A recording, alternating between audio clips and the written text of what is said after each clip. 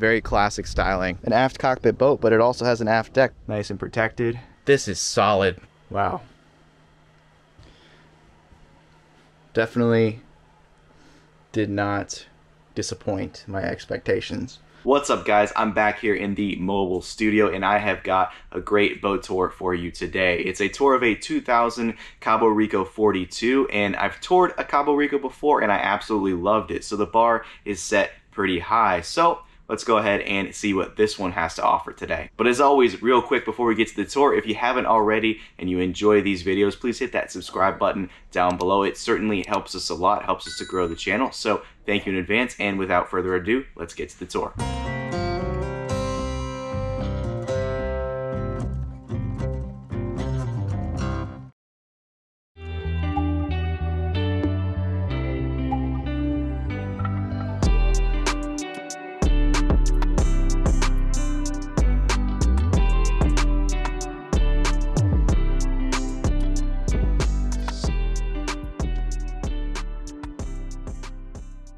All right, guys, so I just stepped aboard and already I can tell that this boat has good owners that takes care of her and that she's in really, really good shape. Let's go forward first.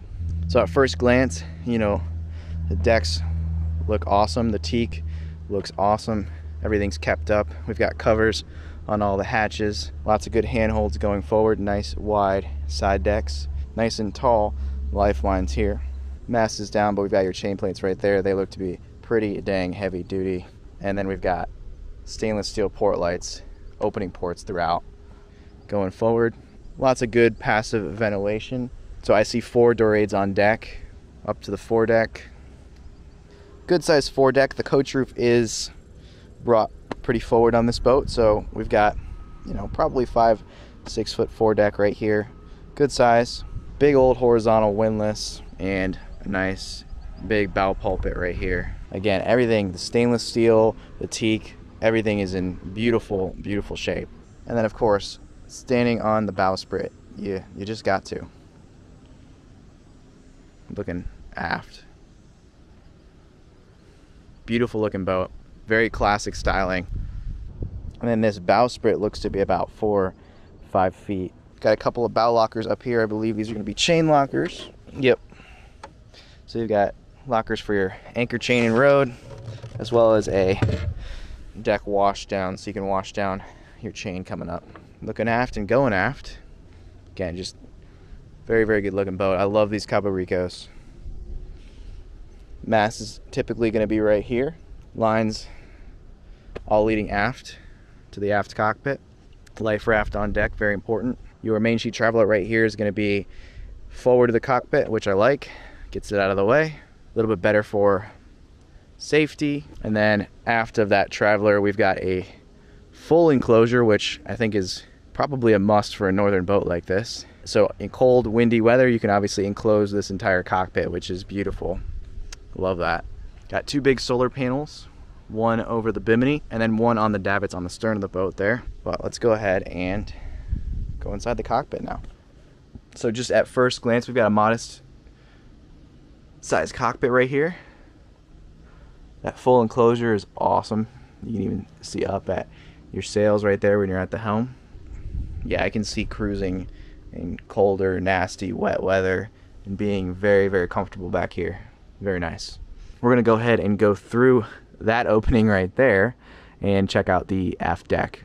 All right, so I'm on the aft deck now, and obviously sections of that enclosure can come out. And then you have, looks to be a nice big aft storage locker back here. Couple of stern rail seats, dinghy davits with that solar panel off the back there. So good amount of room back here. You know, this is an aft cockpit boat, but it also has an aft deck, which is, you know, pretty unique. Not many aft cockpit boats have a space after the cockpit like this. And then you've got propane storage back here as well. This is nice. I like this. And then this stainless steel bimini is super solid. This whole enclosure is super solid, all stainless steel one inch. And going forward, we have our helm. Raymarine chart plotter, cockpit cushions all around. Nice teak flooring in here. We've got six winches in the cockpit, so you can control the whole boat from back here. the safety of the cockpit. And you've got nice view forward, nice and protected all around you. And then you can see up to the sails as well if they were there. got some cockpit lockers as well. That's pretty that's big. Yeah, so you've got a nice big dual cockpit locker under here under the helm's seat. It's gonna be access for your emergency tiller, I believe. And I've got one more lazarette right here. And big old cockpit locker. That is massive. Because there is no cabin on the port side right here, so all that is storage. Beautiful. Love it. First, before we get to the interior of this boat, I'm gonna thank Magic Spoon for sponsoring this video. Now, sponsorships like this help keep the content flowing, so I also wanna thank you guys as well for understanding. Growing up, I loved cereal, but as I got older, I realized that the cereal that I used to love as a kid really wasn't the best choice health-wise, as it's loaded with added sugars and other junk that really shouldn't be eaten all the time. Also, I'm always looking to add a little extra protein in my diet, and most major cereals that are out there really don't have much protein in them. Enter Magic Spoon. Now, this is cereal reinvented. It is a healthy option for cereal that tastes just like the cereals that you might remember from your childhood watching Saturday morning cartoons. You'll love all of the delicious flavor options, so much so you might not believe that these cereals are actually good for you. Magic Spoon cereals are high protein, low carb, sugar free, gluten free, grain free, and naturally flavored. Cereal doesn't get better than this. You can build your very own variety box and choose from the best selling cocoa free frosted peanut butter, cookies and cream, and or maple waffle flavors, plus other awesome flavors including honey nut, blueberry muffin, and cinnamon roll. There's also cookies and cream and coconut peanut butter flavored cereal bars available to add for when you're on the go. Let's go ahead and take a look at the nutrition facts here. We've got 150 calories per serving, zero grams of sugar, and 13 grams of protein per serving. One of the things I like to see is there's nothing on this ingredients list that I cannot pronounce. Now, I'll tell you what, my personal favorite flavor is actually not one flavor, but two mixed. I love the fruity flavor mixed with the blueberry muffin flavor. That's what I'm eating right now, and it's awesome. Click the link in the description below to get some Magic Spoon cereal today. You can also build your very own variety box and use my code Learning the Lines for $5 off. And Magic Spoon is so confident in their product that it is backed by a 100% happiness guarantee. So if you don't like the cereal for whatever reason, you can get a full refund, no questions asked. So what are you waiting for? Go ahead and click the link below and use the offer code Learning the Lines for $5 off your order. Alternatively, you can go to magicspoon.com slash learning the lines for $5 off your order today. Also, this is very relevant to me because as you all know, we just moved to Canada, but Magic Spoon has always shipped to the US, but they just added shipping to Canada and the UK as well. All right, guys, thanks for sticking with me. Now let's get back to the boat tour. Going down below.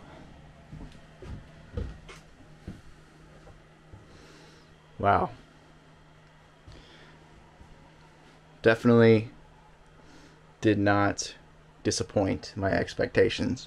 This is the second Cabo Rico that I've toured and that I've personally seen and yeah, I mean you could just tell quality, beauty, I love it. So directly to port here, we got a nice little nook shaped galley right here. We've got tons of cold storage below the counter right here, fridge and a freezer.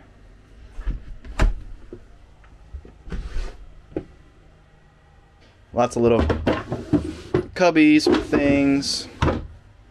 Spice rack, like that. More storage behind the gimbal stove right there. Drawers. And then access, front access to the cold storage down there. Looking forward, we've got our sink. I believe the engine will likely be under here. Storage. Storage, microwave, double sink, nice and deep. I like that little knife block idea. And then under the knife block, you've got storage behind the sink.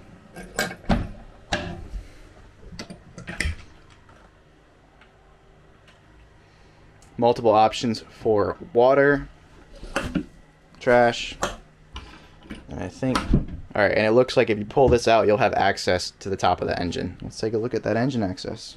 So we've got the diesel engine down here under the galley counter. We've got multiple access panels to be able to access it, but it is right here. All right, so overall, nice, safe galley. Certainly, it's beautiful, lots of storage, good engine location with some good access panels as well. We're gonna look aft. So we've got the companionway stairs right there. Beautiful woodwork everywhere on this boat. Look at those companionway stairs. It's beautiful joinery. And then again, just this is solid. You just don't really see this in modern production boats. It is just absolutely solid. That's why I love these Cabo Ricos. And then back here we've got an aft cabin. Looks like, you know, we've got enough room for two people to sleep back here. Unfortunately, this boat is in storage mode, so we've got this area being used as storage, but it is definitely a beautiful cabin, and you can tell. Lots of storage again. Just beautiful joinery everywhere you look. Nice big stainless ports. The cabin sole is in phenomenal shape. And then just forward of that aft cabin, we've got a forward facing nav station. And this is a nice little nav station. Certainly not the biggest that I've seen, but this is very well integrated. It looks very comfortable. Good place for one person to sit, do some work on a laptop, do some navigating. And you've got all of your instruments, chart plotters, AC and DC distribution panel. Looking forward to that. This is something I actually didn't notice earlier, but you've got overhead storage right here in the galley. I love that. Then you've got these nice gimbal lanterns for heat and for light. You got a settee right here to the starboard side. Storage behind and below. We've got your obligatory bookshelf right here. Pretty sure I have some of those books. Looking to port here. We've got a U-shaped main settee with a square table storage down below. Very nice. Again, storage behind that settee. Going to be below the settee as well. And again, just the joinery, the finish, everything is in beautiful shape, immaculate shape. I love it. Got some more books back there. And I definitely have that one right there, Storm Tactics. Headliner's in beautiful shape. Got air conditioning on this boat as well. This is where the mast would normally be, but since we're on the hard, the mast is down. This wraps around the mast. Keel stepped mast. Got some vertical lockers right here. Hanging locker. And then to port. So this boat has one head, but it's a nice head. And as you guys can see, this boat again, it's in storage mode. Just wanted to mention that again. So a lot of the cabinets are being left open. So you have a separate shower, nice big head, beautiful. Going forward to that head, we've got a V-berth up here. Pretty big V-berth. Got storage all alongside again. Kind of a standard V-berth. Very, very beautiful. Can sleep two people up here comfortably. Got a little seat right here, help you get up into bed. But it's gonna be your standard V-berth where you, you know, two people are gonna wanna sleep with their head on this side, feet that way. Storage down below. And then up here in the V-berth, got a door that closes. Get some privacy while you're up here if you have guests. So we've got two cabins, one head, and a beautiful vessel built to go anywhere. All right, so under the settee here, just wanted to show you guys we got more access to the engine filters. And then underneath, as you can see, we've got more storage, some Reflectix down there. So the current owners have insulated, uh, it looks like a good portion of the hull, and that's pretty good for a northern boat like this. We've got storage down below that settee, both settees behind the settee. Down here under the galley cabin sole, you've got access to your dripless stuffing box right there, exhaust, drive shaft, and your bilge down there. So just giving you a shot down below, below the waterline, all in really good shape as well. We have a true full keel with a protected rudder on this boat and it also looks like we have a feathering prop and a line cutter right there on the prop so pretty awesome down below the waterline rudder looks like it's in good shape as well very nice. All right guys it's time for the full continuous blow decks walkthrough from bow to stern